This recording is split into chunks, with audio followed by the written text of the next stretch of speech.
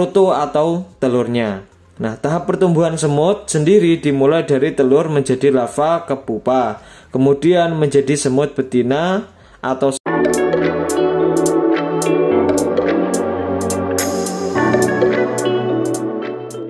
hei, salam cekak-cekik kroto Banyuwangi ya guys Di konten kita kali ini kita akan menguak sebuah fakta dari semut rang-rang penghasil kroto ya.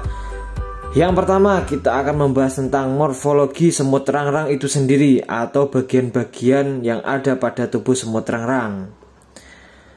Kemudian yang kedua kita akan bahas tentang koloni semut rang-rang. Dan yang ketiga, kita akan bahas juga faktor apa saja yang menjadi pembentukan koloni dari semut rang-rang. Yang pertama, morfologi semut rang-rang. Tubuh semut rang-rang terdiri dari tiga bagian, yaitu kepala, dada, dan perut. Pada kepala semut rang-rang terdapat banyak organ sensor. Semut rang-rang juga mempunyai tiga oselus di bagian puncak kepalanya untuk mendeteksi perubahan cahaya. Pada kepala semut rang-rang terdapat sepasang antena untuk mendeteksi rangsangan kimiawi. Antena ini juga berfungsi untuk komunikasi antara semut satu sama lain. Pada bagian depan semut rang-rang juga terdapat sepasang rahang yang digunakan untuk membawa makanan, memanipulasi objek, membangun sarang, dan untuk pertahanan. Sedangkan di bagian dada terdapat tiga pasang kaki dan di ujung setiap kakinya terdapat semacam cakar kecil yang membantunya untuk memanjat dan berpijak pada permukaan. Di bagian perut terdapat banyak organ dalam yang penting, termasuk organ reproduksi. Nah, beberapa spesies semut rang-rang memiliki sengat yang beracun untuk melumpuhkan mangsa dan melindungi sarangnya. Nah, ini merupakan gambar atau morfologi tubuh dari semut rang-rang yang terdiri dari beberapa bagian. Dan itunya juga di masing-masing bagian ada nama-namanya. Yang kedua, kita akan membahas tentang koloni semut rang-rang. Semut rang-rang merupakan hewan yang hidup berkoloni. Koloni ini bisa diartikan sebagai kerajaan atau pemerintahan yang dipimpin oleh ratu semut. Satu koloni bisa terdiri dari satu sarang, namun, dalam satu koloni juga bisa terdiri dari beberapa sarang dalam satu pohon, atau juga dari beberapa sarang dari beberapa pohon yang berdekatan di wilayah yang sama. Ya, kemudian koloni semut rang-rang juga terdapat empat kasta semut rang-rang. Keempat kasta tersebut terdiri dari ratu semut, semut jantan, semut pekerja, dan semut prajurit. Jadi kita nanti juga bahas tiap-tiap kastanya. Dan nanti kita selipkan calon ratu. Tidak masuk dalam bagian kasta, tapi masuk ke dalam bagian proses siklus dalam semut rang-rang. Jadi tiap-tiap koloni yang terdiri dari satu atau beberapa sarang dapat ditemukan satu atau beberapa ekor ratu semut. Ratu semut mudah dikenali karena tubuhnya lebih besar, berwarna agak kecoklatan, dan tidak bersayap, dan juga menghasilkan telur. Nah, sedangkan untuk calon ratu, calon ratu bentuknya hampir sama dengan ratu, hanya saja warnanya lebih kehijauan dan masih bersayap. Nah, calon ratu ini akan menjadi ratu sesaat setelah dibuahi oleh pejantan dan sayapnya akan hilang dan nanti akan bertelur selayaknya ratu. Kemudian untuk semut jantan biasanya tubuhnya lebih kecil daripada semut ratu. Semut jantan berwarna kehitam-hitaman dan e, untuk ukuran tubuhnya itu lebih kecil. Ya. Jadi kalau semut pejantan itu juga umurnya lebih singkat karena pada saat dia setelah membuahi calon ratu dia akan meninggal.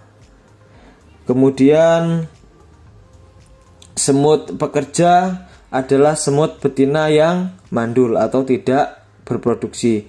Mereka tinggal di dalam sarang dan merawat semut-semut muda.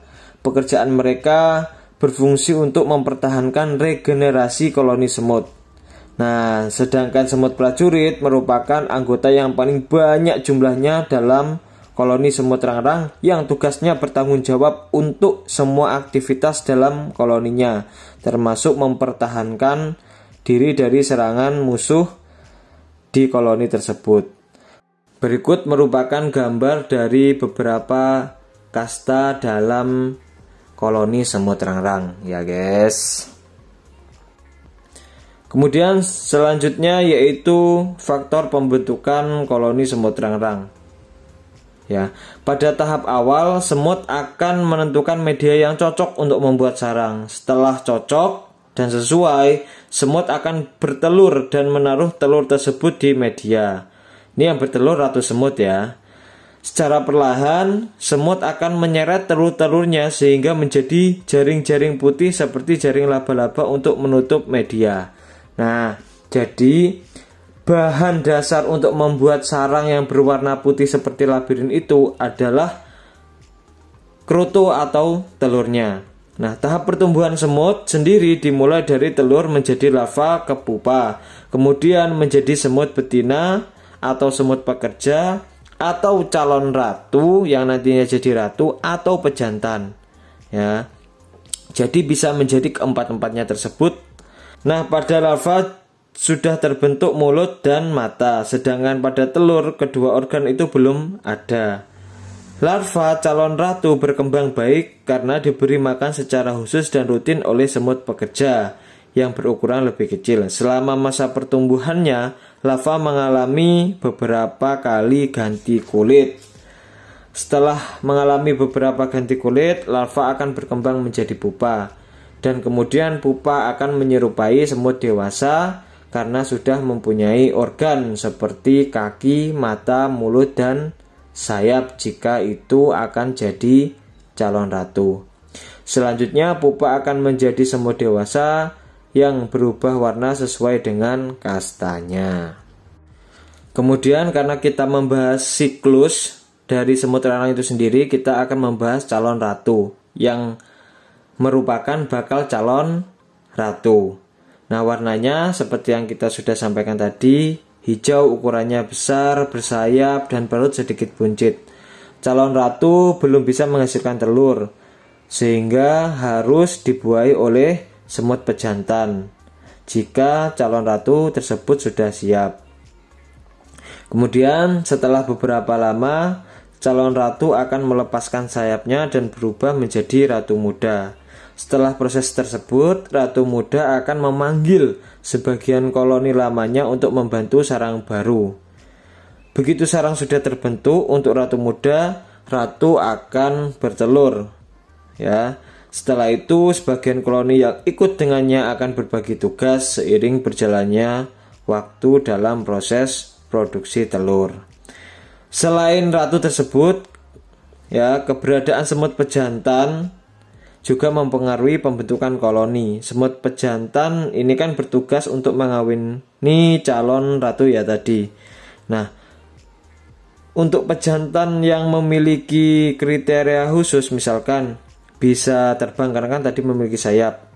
Semakin baik morfologinya atau tubuhnya maka akan menghasilkan kruto yang super juga atau meningkat dari produksinya dan juga lebih besar untuk telur yang dihasilkan.